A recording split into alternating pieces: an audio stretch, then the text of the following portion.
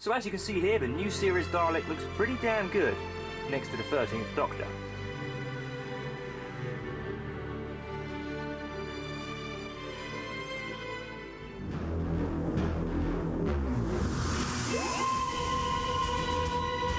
Hello and welcome to another Doctor Who mini review. In today's review we are taking a closer look at the 13th Doctor 5.5 inch action figure. Now I know this is a very unusual thing here on my channel for me to be reviewing a new series figure, but I wanted to do this review for two reasons. One, of course, Doctor Who is coming back on our screens on January the 1st, 2020, so this gets us ready in preparation for that series. And the second reason, there's a massive sale happening right now on this figure on Forbidden Planet's website. So if you're interested in buying this figure then please use the link down below in the description of this video and that will take you directly to Forbidden Planet and it will take you directly to the page where you can purchase this figure for £8.99. It will really help me out and this channel out if you are able to use that link when you purchase this item. So let's now take a closer look at the back of the packaging. As you can see, it shows other items that are available in stores now. That includes the 10 inch doll action figure and also the 13th Doctor's electronic sonic screwdriver. One of which I've actually got. I've got the 10 inch doll and if you'd like me to review that then let me know in the comments down below.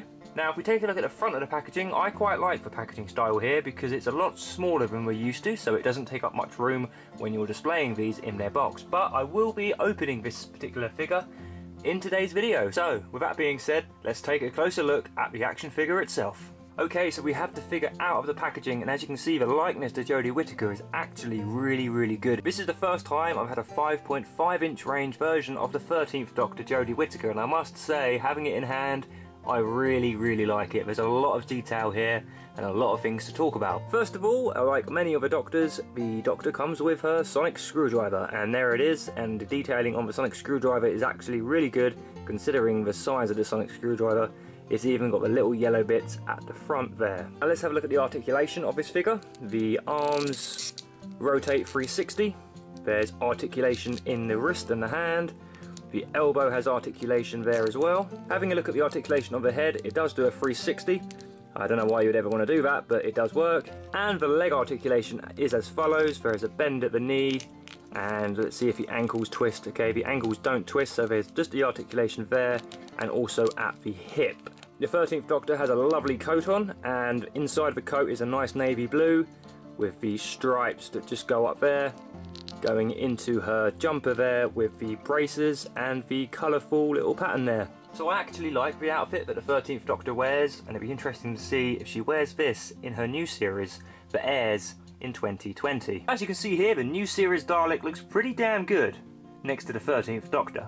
So my overall thoughts and feelings on this Doctor Who figure is it actually is really, really good. Having it in hand, I'm definitely glad I got it, and I'm definitely glad I got it at the sale price, which was obviously advertised on Forbidden Planet's website. As I mentioned in the beginning of this video, please click on that link and it will take you straight to the page where you can buy this for only £8.99. So thanks for watching and I will see you all again very soon in another Doctor Who review.